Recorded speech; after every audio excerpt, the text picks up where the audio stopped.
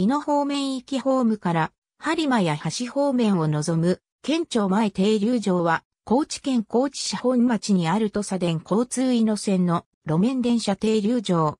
高知市役所も近いことから県庁、市役所前と案内される場合がある。当停留場は1904年、土佐電交通の前身である土佐電気鉄道によって路線が開通したのに合わせて開業した。当時の停留場名は本町上一丁目停留場で、県庁前停留場に解消した時期については不詳である。県庁前停留場は、伊野線の併用軌道区間にあり、道路上にホームが設けられている。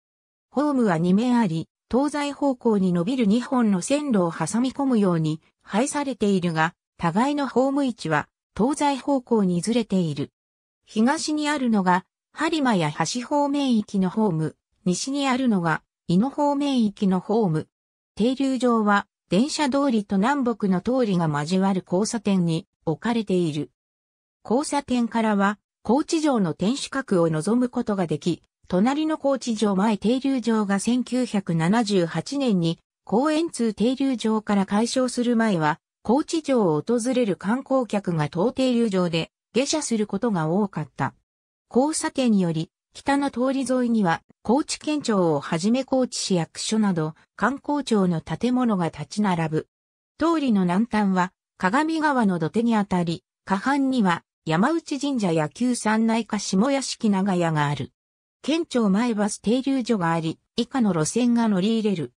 ABC、土佐電鉄が走る町根弱98.156から158ページ、服部重隆、路面電車新時代 LRT への奇跡三街道、2006年、296ページ。ISBN4 から381018168。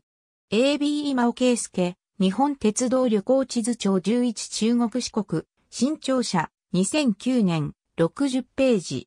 ISBN 978から4から10から79万29から6。上野博人。土佐電交通。再出発、便利な市民の足に、高知で設立式新デザインの車両披露。毎日新聞 AB 川島慶三、四国、九州ライン全線、全駅、全廃線第2巻四国西部エリア、講談車、図説、日本の鉄道、2013年、41.92ページ。ISBN 978から4から06から29万5161から6。